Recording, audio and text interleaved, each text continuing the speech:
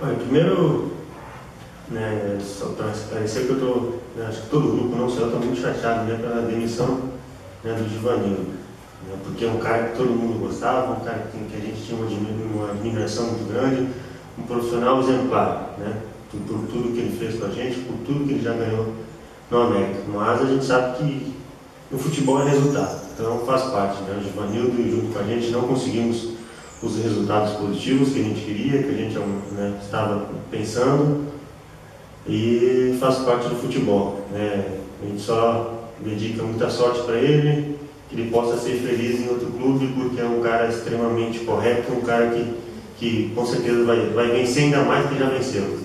Né? E, e o teor da conversa foi cobrança, né? mas a diretoria uh, dividiu sim essas derrotas, esses maus resultados com a gente sabe que a diretoria tem sua culpa, né? mas o maior culpado somos nós, jogadores, porque a diretoria não entra dentro de campo. Quem entra dentro de campo somos a gente. Né? A gente que entra dentro de campo, que, que chuta a bola, que defende, né? o que ataca, somos nós. Então temos que nos cobrar também, a diretoria já está fazendo, né? já está se mobilizando para fazer da melhor maneira possível né? para reverter essa situação, né? para o que está errado né? Voltar a ser certa novamente. E estamos aí, sabemos que os resultados não vindo, acontecem essas coisas, e o maior culpado somos a gente. Né? Nós dependemos do futebol, é claro que nós jogadores temos que fazer nossa parte dentro de campo, é normal a cobrança, cobrança do torcedor, cobrança da diretoria, e agora, domingo, temos que de ganhar de qualquer maneira, mas sem desespero. O desespero faz tudo ao contrário. Então a gente tem que colocar a cabeça no lugar, saber que a gente tem que voltar a vencer, porque se ficar para trás aí é completamente muito difícil. Então já domingo de manhã a gente já tem que conseguir a primeira vitória.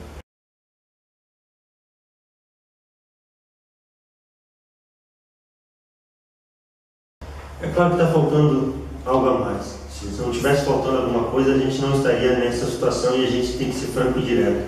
Não adianta a gente ficar enrolando. É claro que depois do Mineiro a gente deu uma caída, uma caída bastante drástica, né?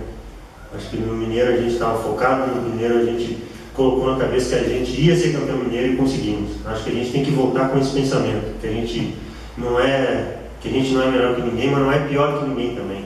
Né? Então temos que, que colocar na cabeça que a gente tem todas as condições de reverter essa situação. Né? A diretoria também se comprometeu de de reforçar, de, de ajudar tudo o que tem que fazer para nos ajudar, a diretoria vai fazer. E nós temos que fazer nosso papel dentro de campo, colocar a cabeça que a gente pode. Que a gente, o ser humano, a gente tem que sempre pensamento positivo e se a gente pensar já entrar derrotado dentro de campo, com certeza a gente vai sair derrotado. Então a gente tem que entrar com confiança, com determinação, com, com pensamento positivo e com mais vontade, com mais determinação para a gente conseguir nossas vitórias.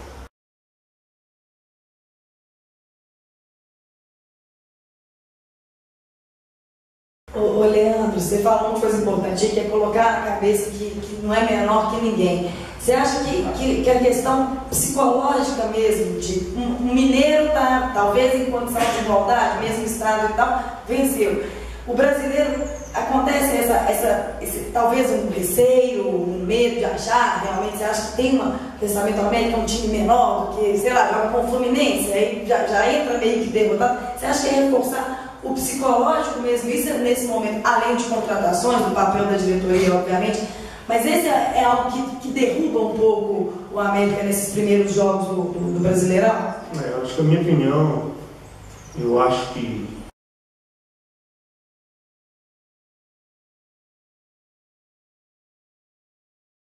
que a gente tem que olhar pelo lado positivo. Acho que a gente jogar contra, contra essas equipes maiores, vamos dizer assim, acho que tem, tem, que ter uma motivação mais ainda.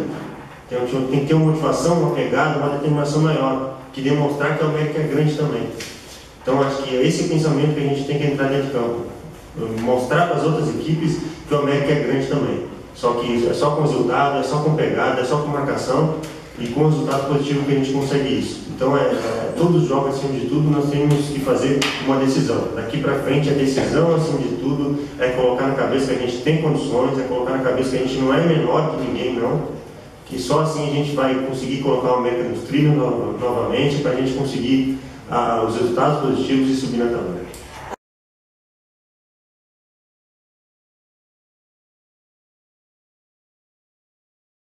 A gente não ganhou o mineiro por acaso. A gente ganhou de, né, de, de todos os outros clubes e a final, a, e a semifinal e a final de clubes grandes, de clubes de, de tradição, clubes de, campeão brasileiro, né, de Libertadores. Então não foi por acaso. Então a gente tem todas as condições, já mostramos dentro de campo que temos as condições de vencer. Né? E é esse pensamento positivo que a gente tem que entrar em todos os jogos, independente de se for dentro ou fora de casa, nós temos grupos, nós temos jogadores. Claro que a, diretoria está fazendo o seu, seu, papel também, vai qualificar mais ainda, que precisamos. O brasileiro, na minha opinião, é o campeonato mais difícil do mundo. São decididos em poucos detalhes. Né? E isso faz a gente ir para cima da tabela ou descer. Então é, é colocar na cabeça que a gente tem condições, que a gente vai ganhar os jogos e, e vamos fazer bons jogos também. Agora,